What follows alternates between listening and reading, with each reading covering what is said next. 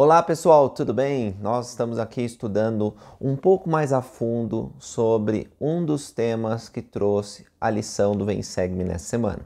O meu vídeo principal do Vem Segue-me está no canal Videira Verdadeira, mas aqui eu queria tratar com vocês de modo mais aprofundado. E eu queria falar a respeito do casamento plural, às vezes chamado de poligamia. A gente vai trazer a distinção entre casamento e poligamia nesse vídeo. E para apresentar esse tema para vocês, que está lá na seção de Doutrina e Convênio 132, eu coloquei na forma de perguntas. Então, eu separei 17 perguntas que eu frequentemente ouço de membros da igreja e das pessoas que não são membros da igreja sobre esse assunto. E eu vou trazer para vocês a minha perspectiva a respeito desse tema, como que eu responderia cada uma dessas perguntas, de modo breve eu recomendo que vocês estudem os materiais que eu vou deixar na descrição, que vão te dar mais profundidade a respeito desse assunto. O casamento plural, a poligamia, tem sido estudada por historiadores da igreja, fora da igreja, por muitos anos e ainda é um tema de estudo frequente. Então tem muita coisa que a gente pode aprender a esse respeito. Não vai dar para trazer tudo aqui, mas eu quero é, ajudar vocês a entender melhor esse assunto e também a responderem se alguém perguntar a esse respeito. Bom, vamos lá. Primeira questão: por que Deus ordena casamentos plurais? A gente sabe que lá na Bíblia a gente tem personagens importantes, profetas de Deus, que nós consideramos como grandes homens no serviço do reino de Deus. Por exemplo, Moisés, Abraão, o pai da fé, Jacó, todos eles tiveram mais de uma mulher. E aí você fica pensando, mas como que Deus justifica isso? Primeiro, Deus não precisa dar razões pelos mandamentos dele. Ele mandou que Abraão fosse e sacrificasse seu filho e não deu razões para isso, né? E Abraão foi em obediência, mas antes de fazer, Deus disse: Ó, oh, não precisa, já é o teste que eu queria, já foi feito. Então, assim acontece conosco também. Deus não dá, nos dá mandamentos. Às vezes, a gente encontra motivos, porque Deus quer, a gente vai entender no futuro e falar: nossa, eu obedeci, isso me guiou a essa bênção, ou a, a, ao momento que eu estou na minha vida. Se não tivesse obedecido esse mandamento, não estaria aqui. Sobre o casamento plural, a gente, estudando as Escrituras, a gente pode entender que é uma lei de obediência. Então, Deus exige um teste de fé, nós precisamos obedecer a Ele. Segundo, para levantar posteridade, ou seja, para que aqueles que estão no casamento plural possam ter filhos que vão ser criados numa família do Evangelho, que vão crescer para Deus, que vão ser instrumentos. Hoje, 20% mais ou menos dos membros da igreja é uma igreja mundial, tem milhões de membros espalhados pelo mundo inteiro, mas 20% são dos casamentos plurais que aconteceram na igreja. Então, é uma estimativa que fazem, né? Então, realmente levantou posteridade, principalmente nos primeiros anos de igreja, os frutos, os filhos desses casamentos plurais providenciaram liderança, né? Vieram grandes líderes desses casamentos, porque normalmente quem vivia esses casamentos eram homens e mulheres muito fiéis no evangelho. Não necessariamente líderes da igreja, mas não era qualquer um que casava é, pluralmente, assim, ah, eu quero ter mais de uma esposa. Não, era o líder da igreja que decidia, ó oh, irmão, você vai ter agora uh, entrar nesse convênio do casamento eterno, tendo mais de uma esposa. E aí acontecia. Mas tanto homens como mulheres podiam recusar entrar. O divórcio era facilitado. A gente vai falar sobre isso quando a gente tem umas perguntas que fala sobre o casamento uh, plural em Utah. Aí eu vou falar sobre isso. Mas vamos na sequência, eu vou me perder aqui. Então, por que Deus ordena casamentos plurais? Não sabemos. O padrão de Deus é o casamento entre um homem e uma mulher, a monogamia. Isso está muito explicado no livro de Mormon, quando o povo que tinha chegado na terra da promissão começou a querer viver o casamento plural. E Jacó, o profeta de Deus, adverte dizendo: Não, Deus não ordenou. Deus ordenou o casamento entre homem e uma mulher. E esse foi o mandamento que ele deu para o nosso patriarca Leí, né? o chefe da nossa dispensação aqui. Não terá mais de uma esposa. Os lamanitas que se corromperam, fala lá Jacó, eles continuam vivendo essa lei. E vocês aqui agora querem se desviar. Davi e Salomão, ele, ele lembra né, desse, desses casos, também tiveram muitas esposas. Foi aceitável para Deus quando o profeta dizia: Ó, Davi e Salomão podem casar. Mas eles se corromperam e casaram com mulheres que não foram designadas para eles casarem. Não estava sobre a, a bênção do sacerdócio. E por causa disso, eles se corromperam. Isso estava acontecendo. Aí ele diz: Ó, não pode. E um dos motivos, quando Jacó está tá dando esse ensinamento, ele diz: se o Senhor quiser levantar a posteridade, está lá em Jacó 2,30. Porque se eu, Senhor, quiser suscitar posteridade para mim, ordenarei isso a meu povo. Em outras circunstâncias, meu povo dará ouvido a essas coisas. Ou seja, a lei, a regra é monogamia. A exceção que aconteceu na época do Velho Testamento, em alguns algum, algum período aqui da restauração também. Segunda pergunta: Joseph Smith casou com várias mulheres? Sim, casou com várias mulheres. Mas a evidência de quantas mulheres ele casou é bem difícil de se obter, porque ele não deixou registros. As mulheres com que ele teria se casado também não deixaram muitos registros, existem poucas, poucos indícios. Por exemplo, nós sabemos que uma das esposas plurais de, Joseph Smith foi a irmã Snow, Elisa R. Snow, a poetisa de Sião. E ela fez uma lista daquelas que seriam as esposas plurais de Joseph. Mas assim, tem muitos poucos registros a respeito disso. E assim, é fácil de entender porque há poucos registros. Joseph não se sentia confortável com esse mandamento, casamento plural. A gente vai ver que ele fez uma tentativa assim que recebeu esse mandamento. Vou responder em outra pergunta aqui. E ele ficou muitos anos se debatendo com isso e não querendo viver, até que numa terceira visita angelical, o anjo visitou três vezes. Na terceira, o anjo com uma espada desembanhada disse: Você tem que viver esse mandamento. E aí ele então ah, contraiu outras núpcias, algumas que envolviam o convívio e, e o relacionamento íntimo, e outras que eram casamento para a eternidade. E nós vamos falar sobre isso também. Mas o fato é que ele viveu. E aí, quantas esposas ele casou? Entre 30 e 40. A gente não tem. Pode ter sido menos, talvez. Alguns registros estão falhos, alguns nomes lá. Interessante que nenhuma das possíveis esposas de Joseph elas criticaram o casamento, saíram falando mal do profeta, falaram que foram violentadas, falaram que foram coagidas. Várias das, das mulheres que, segundo esses poucos relatos, casaram com Joseph, na ocasião principalmente de Navu, uh, elas contraíram outras núpcias depois, casaram novamente quando ele, ele foi assassinado. Então é difícil saber.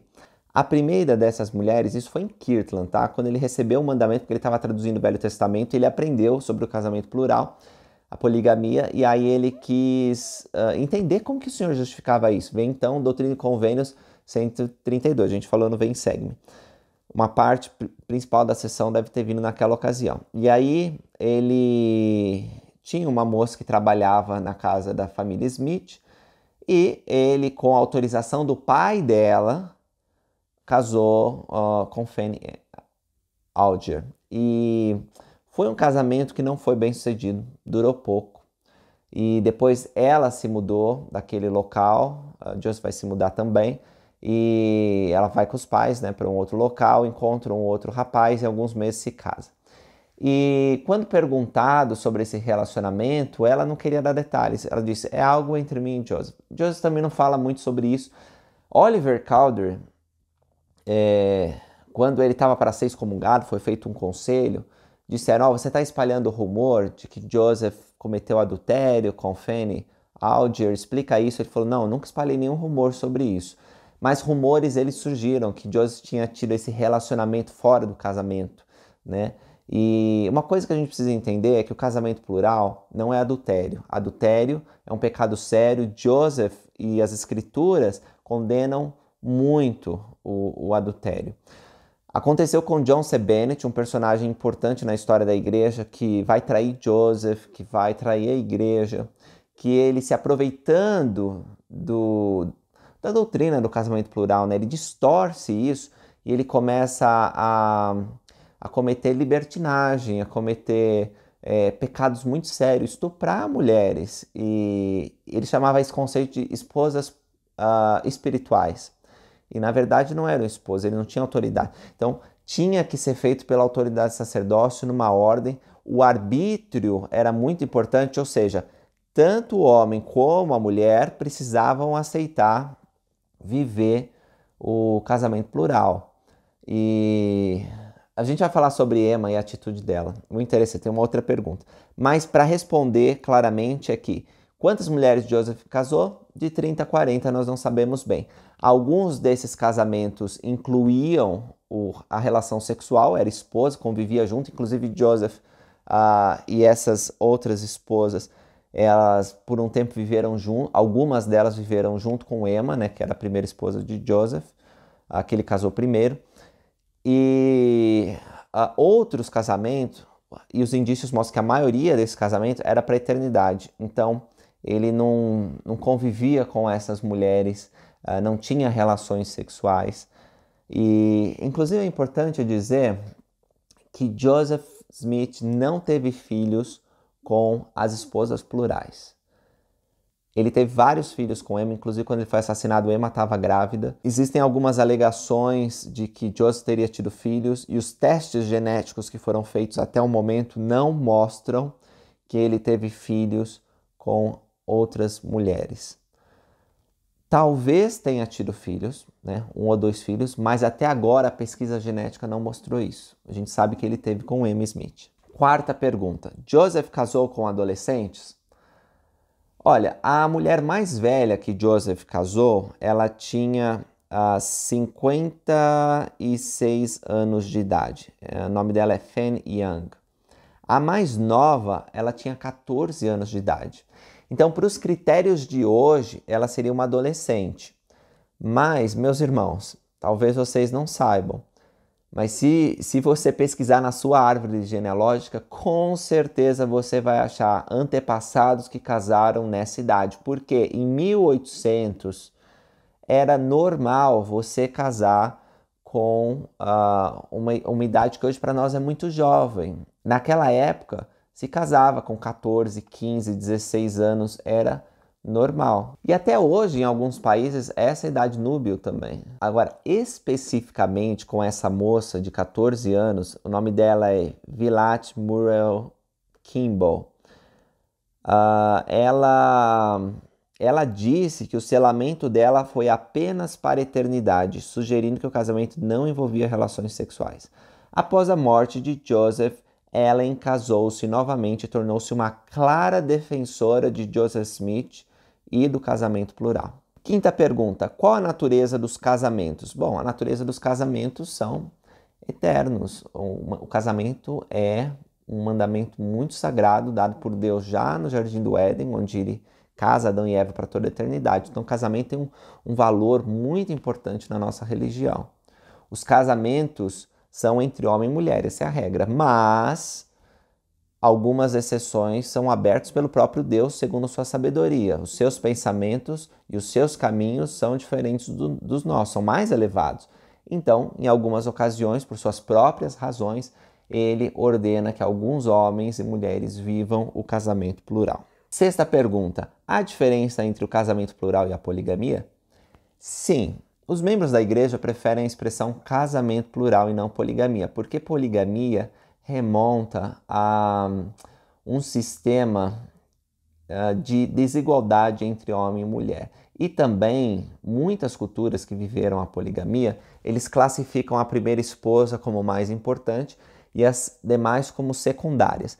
Inclusive, inclui concubinas, o que não tem na igreja de Jesus Cristo. Nunca teve na igreja de Jesus Cristo nos últimos dias, tá? As esposas, elas tinham o mesmo status. Elas eram consideradas iguais. Esposas irmãs, como muitas delas se referiam na época que, que teve a poligamia. Mas o fato é que muitos pesquisadores e muitos membros usam poligamia. Então, dá no mesmo poligamia e casamento plural. Mas se a gente for mais a fundo, a gente vai ver que existe uma diferença na poligamia praticada na Igreja de Jesus Cristo nos últimos dias e as poligamias que nós vemos em outras culturas e durante a história do mundo. Tinha uma moça que trabalhava na casa da família Smith e ele, com autorização do pai dela, casou uh, com Fanny Alger. E foi um casamento que não foi bem sucedido, durou pouco. E depois ela se mudou daquele local, a Joseph vai se mudar também, e ela vai com os pais né, para um outro local, encontra um outro rapaz e alguns meses se casa. Oitava pergunta: Como Emma reagiu ao casamento plural? O que, que ela pensava sobre o casamento plural? Olha, é uma questão difícil porque também nós não temos muito registro. O que nós sabemos são de fontes uh, de outras pessoas que viam Emma e Joseph e o convívio deles. Algumas ocasiões Emma aprovou, outras ocasiões ela desaprovou o casamento plural. O fato é que era um, muito difícil para ela. Gente, não seria para vocês também um casamento plural muito difícil? Para ela era algo muito, muito complicado. A gente sabe que ela foi testemunha de alguns casamentos plurais, inclusive que ela, ela pediu que algumas mulheres se casassem, quando ela entendeu a lei do casamento plural, ela escolheu algumas mulheres e pediu que elas se selassem a Joseph, seu marido. Ela, ela testemunhou ao menos quatro desses casamentos e pediu que essas quatro mulheres vivessem na casa com ela. Mas em outras ocasiões ela era completamente oposta. E era muito difícil. Emma, como eu falei no meu vídeo do Bem Segue-me, ela estava preocupada se Joseph tivesse filhos com essas mulheres. E isso não seria mais um motivo de perseguição. Eles já tinham sido expulsos de lugar em lugar e agora em Navu, quando eles tinham uma relativa paz, ele ia ser preso de novo, ia ser perseguido, torturado, morto. E como ficaria tudo isso? E as propriedades, né? Como que ficaria com relação a para proteger ela e os filhos? Uh, se, se ele tivesse outras famílias, Emma tinha tudo isso, era muito difícil. E eles tiveram uma certa discussão que, que durou um, um dia inteiro. Eles ficaram conversando sobre isso, expressaram sentimentos. Foi difícil, mas depois daquela ocasião, Uh, Emma ficou mais tranquila, Joseph também ficou mais tranquilo, ele não contraiu outros casamentos plurais e ele e, Emma se entenderam nesse sentido, mas ele tinha esses casamentos, era importante que ele cumprisse o mandamento do Senhor. Era muito difícil para Joseph, foi muito difícil para ele, mas ele se esforçou para ser obediente em todas as coisas. Nona pergunta. Essa é uma pergunta um pouco difícil que que a gente também tem uma tendência de fazer julgamentos equivocados sobre ela. Joseph casou com mulheres já casadas? Houve poliandria na igreja? Deixa eu explicar que Joseph, sim, foi selado a mulheres que já eram casadas, e isso deve ter acontecido mais ou menos com 12, 12 mulheres. O que acontece? Quando Joseph recebeu as chaves do sacerdócio, no templo de Kirtland, na seção 110 do Doutrina e Convênios, 1836, ele recebe uh, o conhecimento de que as famílias podem ser eternas se forem casadas para toda a eternidade. Ele ensina essa doutrina para alguns homens, como Parley Pratt, por exemplo, e ele começa a fazer selamentos para a eternidade. Hoje, nós nos selamos a nossa própria família, né? os pais aos filhos. Naquela ocasião, a doutrina estava sendo restaurada e o Senhor dá linha sobre linha, preceito sobre preceito. Então, quando ele começou a realizar casamento para outros e para si mesmo, geralmente selava a ele ou a outros líderes da igreja. E isso foi sendo revelado e melhor explicado na época de Ilford Woodruff, olha só, o quarto presidente da igreja.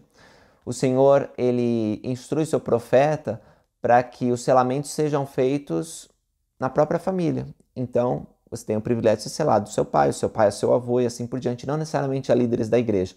Então, esses vínculos aconteciam para que, no começo, né, primeiro porque eles estavam entendendo essa doutrina, era uma forma, portanto, que precedia ao que nós fazemos hoje, uma forma de entendimento uh, rudimentar do que nós temos, e esses selamentos faziam com que a igreja se tornasse uma grande família. Eles se uniam, apesar das diferentes origens, né, que tinha muita gente vindo da Inglaterra e, e da Europa em geral. Uh, e esses casamentos faziam então com que eles se tornassem um só em Cristo. E não inclui Joseph não uh, roubava a esposa de um homem e casava com ela e tinha relações. Não, isso não aconteceu. Eram casamentos para a eternidade, ou seja, um arranjo familiar de toda a igreja que ia ser perpetuado depois. Agora, esses homens e, e mulheres, uh, eles tinham a oportunidade de ser uma família eterna. E com o tempo, essa doutrina foi sendo esclarecida, e se houve necessidade de alguma correção, foi feita. Então, não fiquem preocupados que quando as pessoas falam que Joseph casou com mulheres que já eram casadas, a gente pensa, oh, nossa, houve poliandria. Poliandria é quando uma mulher divide dois maridos, né? E quando uh, recursos e acabam vivendo na mesma casa, isso não aconteceu na igreja. Então, alguns historiadores, algumas pessoas falam de poliandria, mas a natureza desses casamentos era para depois da morte e não aqui na terra. E como eu falei, era uma maneira de, de unir a, a família da igreja em uma só. Décima pergunta: quais eram os sentimentos dos membros ao serem expostos a essa doutrina? No começo foi algo sigiloso, que Deus foi ensinando a alguns, e era muito difícil. A gente tem os relatos de alguns membros da igreja, e para eles, quando se depararam com isso, eles falaram: não, tudo menos isso né? A, a gente sabe de Brigham Young que ele falou: oh, tive inveja do cadáver, preferia estar morto do que viver isso. Mas esses membros foram recebendo um testemunho espiritual. Harold Smith, por exemplo, ele foi convencido pelo, pelo Espírito de Deus. Uh, aos poucos ele foi se convertendo nessa doutrina, como falei, Emma e outros membros também. Até o ponto que eles passaram a defender essas coisas publicamente. Né? E eles enfrentaram o governo dos Estados Unidos e todo tipo de pressão, porque sabiam que era um mandamento dado por Deus. Não significava que era fácil viver essas coisas, mas eles se esforçaram e, e se distinguiram por sua obediência fiel. Aliás, deixa eu fazer só um comentário. Quando a gente vê os casamentos plurais ah, de Utah, e aí é uma coisa mais pública, a gente tem mais registro, a gente vê que várias mulheres apreciavam o casamento plural. Uma delas, que se tornou a segunda médica aqui de Utah, ela disse que se não fosse as esposas e irmãs, as outras uh, mulheres uh, que, que, que, viviam com ela, né, e o marido, ela não teria tempo para estudar, porque como que ela ia ficar olhando os filhos? Então, é interessante. Agora, houve, claro, é, dificuldade em algumas relações. Por isso, o divórcio era facilitado. Mesmo que o divórcio não era facilitado em geral naquela época, para os casamentos plurais era fácil. Separava. Agora, a próxima pergunta: era juridicamente aceitável nos Estados Unidos casamentos plurais? Bom, os membros da Igreja de Jesus Cristo nos últimos dias sabiam que a Constituição dos Estados Unidos tinha sido inspirada por Deus e confiavam nos direitos e garantias que as, a, a, a, letra da Constituição trazia, inclusive as emendas que defendiam o direito à liberdade religiosa. Né? E por causa disso, eles sabiam que podiam viver a religião de modo pleno. Quando o Navu foi estabelecido, o, o, a norma da cidade trazia, contemplava que as pessoas podiam viver livremente sua religião, inclusive os muçulmanos. E alguns dos muçulmanos viviam a poligamia. Então, Joseph e outros santos pensavam, não estamos desobedecendo a Constituição. O fato é que surgiu leis, e mais para frente elas vão ser um motivo de grande embate entre a doutrina da igreja. Surgiram leis infraconstitucionais, né, que proibiam o casamento plural. E isso foi um, um, um motivo de grande perseguição até uh, que aconteceu e discriminação. Uh, mas o fato que o entendimento jurídico, embora houvesse discussão, era de que a liberdade religiosa, os direitos e garantias fundamentais que estavam uh, lá na Constituição, uma norma superior a qualquer outra lei uh, que fosse emanada a nível federal ou estadual, era que essa liberdade devia ser respeitada. Então, com base nisso, eles viviam o casamento plural. Como eram os casamentos plurais em Utah? Os casamentos plurais em Utah, como eu falei, eram um pouco diferente dos casamentos que aconteceram em, em Kirtland e principalmente em Nauvoo, porque era mais aberto. Então, eles viviam de modo uh, público o casamento. E isso se espalhou pela nação, né? E muita gente pensou: nossa, que, que coisa horrível, as mulheres são oprimidas. De forma alguma. E Utah foi o, o, um dos primeiros lugares onde as mulheres tiveram seu sufrágio reconhecido no sentido de votar, então elas podiam participar aqui eh, de modo pleno, tinha sociedade de socorro. Aliás, as mulheres foram lá para Washington DC para mostrar que o casamento plural não era essa aberração que eles pensavam, e muitas falaram. Então, é uma parte da história da igreja muito interessante uh, como acontecia. Mas o casamento plural teve o seu encerramento e aí a gente vai falar um pouco sobre isso também. Hoje não tem mais casamento plural, tá certo? Uh, então, quando a gente estuda, a gente tem que tentar ver as coisas como as pessoas viam naquela época. Muitas vezes a gente leva a nossa mentalidade do presente, querendo interpretar o que aconteceu no passado, e a gente acha alguns equívocos, absurdos. Isso, isso é ruim, é o presenticismo, né? A gente tem que tentar ver como as pessoas enxergavam o mundo e a gente vai ter uma noção melhor sobre os sentimentos e circunstâncias que elas estavam envolvidas. 14. Como as pessoas que não eram da igreja reagiam ao casamento plural na época de Joseph Smith? Muitas achavam isso horrível, perseguiam santos, achavam que eles estavam sendo selvagens, ainda mais com os rumores que foram espalhados por John C. Bennett, que eu falei para vocês, e por outros que tinham se afastado da igreja.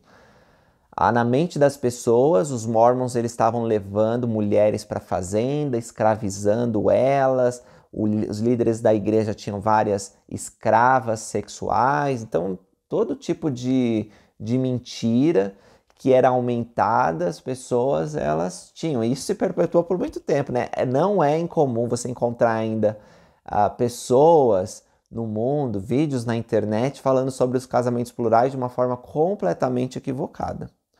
E isso aconteceu muito naquela época onde a informação era a informação verdadeira, o fato era difícil de se obter. Então isso causou muito desentendimento e perseguição. Quando a prática do casamento plural se encerrou? Nós vamos estudar na Declaração Oficial 2, quando Wilford Woodruff ele fala para os membros da igreja, né? Ele tem uma revelação e ele diz, ó, nós temos que parar o casamento plural. Agora, revelação, a declaração oficial 1 é. Isso foi em, deixa eu pegar aqui a data, 1893. Então já faz tempo que a gente não pratica o casamento plural. Algumas das pessoas que ouviram o presidente Woodruff falando, elas não queriam encerrar o casamento plural, porque tinham lutado contra isso por muito tempo. Uh, lutado para defender isso, porque sabiam que tinha sido ordenado por Deus e para elas foi difícil. Então, algumas continuaram praticando o casamento plural depois disso. Aí o profeta disse: não pode, gente. E aí não é só uma questão porque o país proibiu, né? Os Estados Unidos emitiu uma lei que foi reconhecida constitucional de que realmente o casamento plural não podia. E quando foi feito isso, algumas pessoas foram para o México realizar o casamento lá. Esses casamentos eles não foram aprovados pela igreja, pessoas foram excomungadas. E alguns anos mais tarde, Joseph. Smith faz novamente uma declaração, um segundo manifesto, dizendo: gente, não pode ter é, casamento plural. Isso aconteceu e não é para acontecer mais, tá certo? Deus ele disse que acabou. E isso me leva à próxima pergunta, que é se os casamentos plurais acontecerão novamente. Bom, não, na minha opinião. E na opinião dos apóstolos também. Uma vez o Elder Cook, falando num evento face a face, face to face, com historiadores da igreja no templo de Nauvoo, quando, na ocasião do lançamento do livro Santos, salvo engano, ele disse que o sentimento dele, de outras autoridades gerais, é que o casamento plural já tinha cumprido seus propósitos e não era necessário mais casamento plural. Lembra que a regra de Deus, já falei para vocês, é a monogamia? Então, quando há casamento plural, há uma exceção. E também já foi cumprido os propósitos da restauração. Como vivemos na restauração da plenitude dos tempos, todas as coisas têm que ser trazidas de volta, né? E isso já foi trazido, não precisa mais. Algumas pessoas olham Isaías tem uma passagem lá que fala: sete mulheres lançarão mão de um homem naquele dia, dizendo: Queremos ser chamadas tua esposa, a gente vai trabalhar, não precisa trabalhar, mas a gente só quer desfazer a nossa vergonha. E algumas pessoas leem a escritura e falam: Oh, então, sete mulheres, vai ter poligamia de novo. Não, gente, Isaías está falando de modo simbólico. Essa passagem, inclusive, é repetida no livro de Mormon. E lá está falando que a vergonha de Israel vai ser desfeita, porque há, há, há uma série de de circunstâncias que levaram a Israel a ser desestabilizada, a ser dispersa, mas nos últimos dias será reunida, então não vai haver essa, essa falta de, de desestabilidade social. E então cuidar para interpretar as escrituras desse modo, porque lá não está falando sobre a restauração do casamento plural nos últimos dias, tá? Qualquer análise que você faça, gramatical, teleológica, sistemática, você não vai conseguir encontrar o casamento plural você não vai conseguir encontrar uma evidência que o casamento plural vai ser restaurado, tá certo? Que vai ter casamento plural quando Jesus Cristo voltar. Não é isso que está dizendo lá. E a última pergunta é como serão os relacionamentos na eternidade. O presidente Oaks falou que a gente tem que se preocupar pouco com relação aos relacionamentos na vida futura, porque a gente não tem muitos detalhes, não foi revelado. A gente sabe que as, a mesma sociabilidade que nós temos aqui, vamos ter no mundo futuro, mas que vai ser acompanhado de glória eterna. Então, uh, se você casou para toda eternidade, você vai ter o direito de ter sua família para toda eternidade. Se a sua esposa morre você contrai novas núpcias e ela é fiel ao evangelho, você também são selados no templo, você vai ter ela também para a eternidade. Agora, ah, mas vai ter duas, vai ter três mulheres, os casamentos foram feitos no passado na época da poligamia, vai ter 40 mulheres, como vai ser isso? Gente, a gente não sabe. A gente sabe o seguinte, que na eternidade nossa percepção vai se ampliar. Nosso coração vai ser cheio de amor e os interesses carnais e, e, e, o olhar do homem natural, essas coisas vão ser removidas. Então, com esse novo entendimento, uma nova perspectiva, talvez essas questões nem sejam questões, afinal, para nós, do outro lado do véu. O que nós precisamos fazer é o máximo para poder chegar lá. E as coisas vão ser diferentes, muito melhores. Tá certo? Então é isso aí, pessoal. Essas foram algumas perguntas que eu procurei responder sobre o casamento plural. É um tema difícil porque envolve muito dos sentimentos mais internos, mas eu espero que tenha trazido alguma clareza para esse tópico, com relação a esse tópico. E se tiverem mais perguntas, recomendo que vocês leiam os materiais que deixei tão em português é, exige algum tempo de estudo, mas está muito claro, vocês vão conseguir absorver mais e melhor se fizerem um estudo pessoal. Obrigado por terem assistido, curte esse vídeo, compartilha com os amigos e até o próximo. Tchau!